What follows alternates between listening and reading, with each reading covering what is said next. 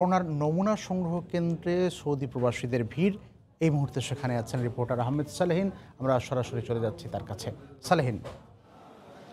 কবির, আপনি জানেন যে এই মুহূর্তে আমি অবস্থান করছে ঢাকা উত্তর সিটি কর্পোরেশনের করোনা আইসোলেশন সেন্টার মহাখালীতে, যে অবস্থান করছে, এবং আপনি জানেন যে যারা বিদেশগামী অর্থাৎ প্রবাসী যারা রয়েছেন, যারা টিকিট হাতে পেয়েছেন, ইতিমধ্যে তারা করোনার নেগেটিভ সনদ নেওয়ার জন্যই কিন্তু এখানে নমুনা দিচ্ছেন এবং সংগ্রহ করছেন। কিন্তু এটা নিয়ে আসলে যে জটিলতা তৈরি হচ্ছে, গত দুই, তিন দিন যাবৎ সেই জটিলতা নিয়ে আসলে আমরা জানার চেষ্টা করেছিলাম আসলে জটিলতা কেন হয়েছে, এবং গতকালকে সকালে যারা নমুনা দিয়ে গেছেন, তারা আজকে একটু আগে মাত্র নিয়েছে যাদের ফ্লাইট আজকে বিকাল সাড়ে পাঁচটা মানে তিন ঘণ্টা আগে তারা সনদটি পেয়েছেন উনত্রিশ ঘণ্টা পর। সেসব বিষয় নিয়ে কিন্তু জটিলতা ছিল এবং মানুষের মধ্যে কিছু সংশয় ছিল তারা আসলে ফ্লাইটগুলো ধরতে পারবেন কিনা, তারা সৌদি যেতে পারবেন কিনা।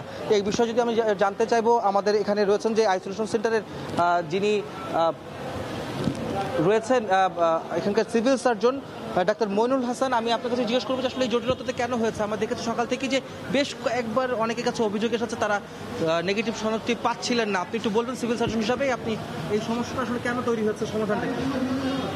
যেই সম- ধন্যবাদ। যেই সমস্যাটা তৈরি হচ্ছে, তার জন্য সম্পূর্ণ দায়ী হচ্ছে এয়ারলাইন্স কর্তৃপক্ষ। সাধারণত নিয়ম হচ্ছে যে একটা টেস্ট করতে আগে যেটা নিয়ম ছিল আমাদের, স্বাস্থ্য মন্ত্রণালয়ের যে বাহাত্তর ঘণ্টার সময় থাকতো বাহাত্তর ঘণ্টার সময় থাকতো, সেই ক্ষেত্রে আমরা প্রতিটা পেশেন্ট যাত্রীর স্যাম্পল রিপোর্ট দেওয়ার জন্য আমরা আটচল্লিশ ঘণ্টার সময় পেতাম। সেটা পরবর্তীতে সৌদি এয়ারলাইন্স কর্তৃপক্ষ কমিয়ে নিয়ে এসে তারা করেছে, আটচল্লিশ ঘণ্টা সময় করেছে, কিন্তু সেটা হচ্ছে, শুরু হবে সৌদি আরবে, তারা যখন ল্যান্ড করবে সেইখান থেকে আটচল্লিশ ঘণ্টার সময় কাউন্ট হবে। সেই ক্ষেত্রে সেই ক্ষেত্রে আমরা দেশে সময় পাই মাত্র চব্বিশ ঘণ্টা।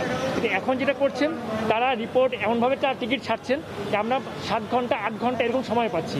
আমার হাতে একটা টিকিট আছে আপনার দেখেন। তার ফ্লাইট সময় আজকে রাত তিনটা পঁয়ত্রিশ মিনিটে। তাকে বলা হয়েছে রাত এগারোটার সময় এয়ারপোর্টে থাকতে। এখন দুপুর আড়াইটা বাজে। তাহলে আপনাকে। আমি আসলে আমরা শুনছিলাম যে যেমনটি বলছিলেন যে মইনুল হাসান যে সার্ভিস যিনি বলছিলেন যে খুবই কম সময় কারণ সৌদি এয়ারলাইন্স কর্তৃপক্ষ যে টিকিটটি ছাড়ছেন খুব অল্প সময়ের মধ্যে ছাড়ছেন এবং তারা এখানে যখন পাঠাচ্ছেন তাদের কাছে খুব অল্প সময় থাকে নমুনা সংগ্রহ এবং সেটি যাচাই বাছাই করে তাদেরকে রিপোর্টটি প্রদান করা। সেক্ষেত্রে খুবই কম সময়ের কারণে কিন্তু জটিলতা তৈরি হচ্ছে। যদি তারা বেশি সময় পেতেন, অর্থাৎ মিনিমাম চব্বিশ ঘণ্টা যদি পেতেন, তাহলে তো সমস্যাটা তৈরি হতো না। তো সব মিলে বলা চলে যে আইসোলেশন সেন্টারে যে জটিলতা তৈরি হচ্ছে, তারা খুব শীঘ্রই কাটিয়ে উঠবেন কর্তৃপক্ষ বলছেন আমাদের কাছে। তো এই ছিল আমার কাছে ঢাকা উত্তর সিটি কর্পোরেশনের আইসোলেশন সেন্টারের পরিস্থিতি, সবশেষ পরিস্থিতি। আহমেদ সালেহিন জানাচ্ছিলেন, সৌদি আরব যেতে ইচ্ছুকদের করোনা পরীক্ষাতেও ভোগান্তির ব্যাপারে।